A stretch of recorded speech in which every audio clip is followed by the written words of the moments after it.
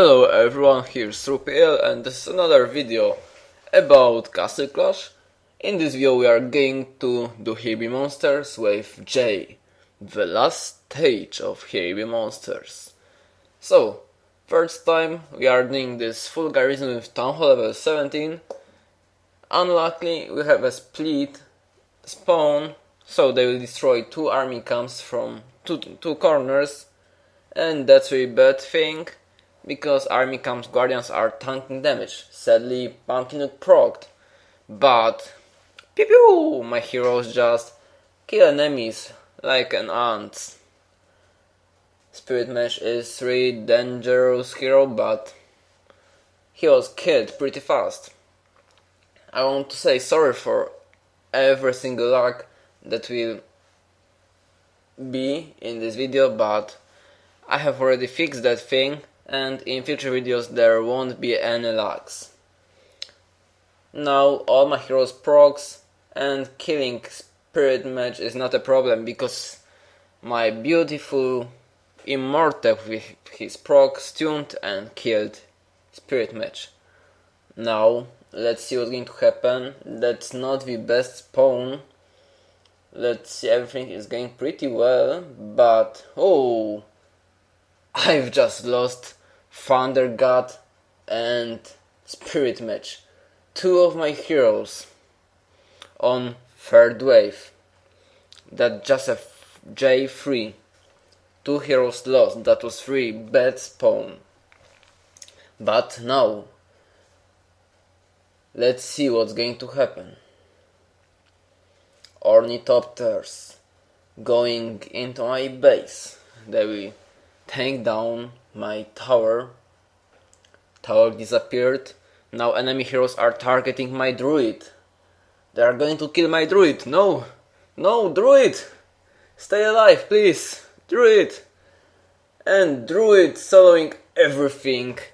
Now druid versus druid. Which one will win? My druid is the best. Haha. J4 cleared with only 4 heroes without Spirit Mage, without Thunder God. Now, last wave. What's going to happen in the last wave? Let's see. Because everything can happen. and I and I lost because enemy pumpkin proc and everything started lagging so much. Anyway, that's at Town Hall level 18 with added maze, pathing longer. Pathing is much longer. First wave. Oh, some hero traps, bombs, blowing up everything around. Spirit Mage procced once. Spirit Mage procs second time. And Spirit Mage disappears. Only lost one building in first wave that's a really good, good result without any towers lost.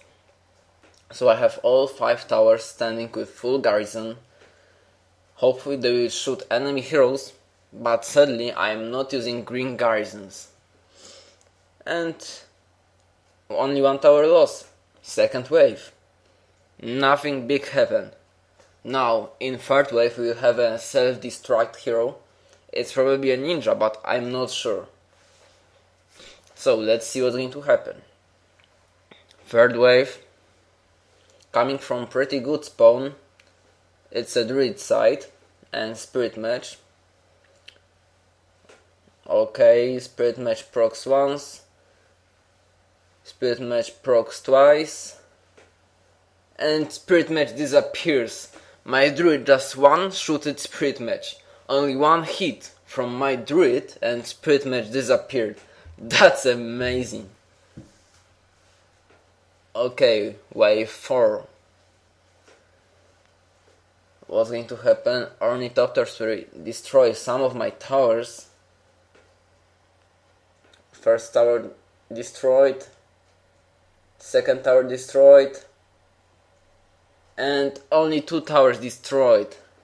And great, the great Immortal killed and cleared that wave. Enemy heroes didn't even get inside my base. Okay, now the last wave. What's going to happen? Last wave. Cupid procced, Thunder God procced, Immortal procs. Come on, I lost two heroes already. Come on, and the great Immortal and Cupid working together cleared J5 for the very very first time. sruPL, first time in the history. Cleared J5. But it's not the end. You have to like this video, write something in comments and subscribe to my channel if you want to see J5 without Garrison. So, thanks for watching and till next time, for you, through PL.